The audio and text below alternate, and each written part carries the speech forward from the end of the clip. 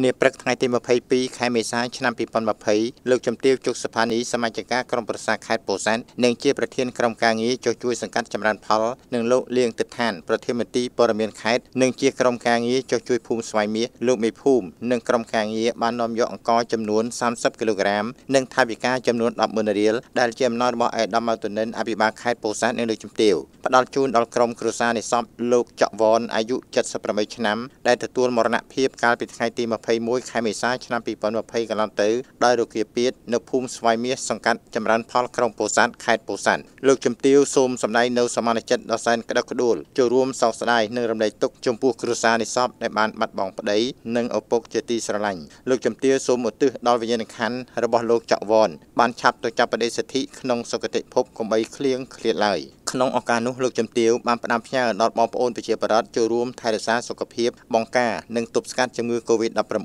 បន្តការប្រុងប្រយ័ត្នខ្ពស់ដើម្បីការពារខ្លួនពីជំងឺឆ្លងផ្សេងៗនិងធ្វើអនាម័យឲ្យបានជាប់ជាប្រចាំស្ដាប់តាមការណែនាំរបស់រាជរដ្ឋាភិបាលកម្ពុជានិងក្រសួងសុខាភិបាលបន្ទាប់មកលោកជំទាវនិងក្រុមការងារក៏បានចុះត្រួតពិនិត្យការខួងអណ្ដូងទឹកសម្រាប់ការប្រើប្រាស់របស់ប្រជាពលរដ្ឋប្រចាំថ្ងៃនៅភូមិស្វាយមាសដោយសារតែតម្រូវការរបស់បងប្អូនប្រជាពលរដ្ឋយើងទើបក្រុមការងារបានផ្ដល់ជូននិងទទួលបានថវិកាខ្លះពីសប្បុរសជនផងដែរ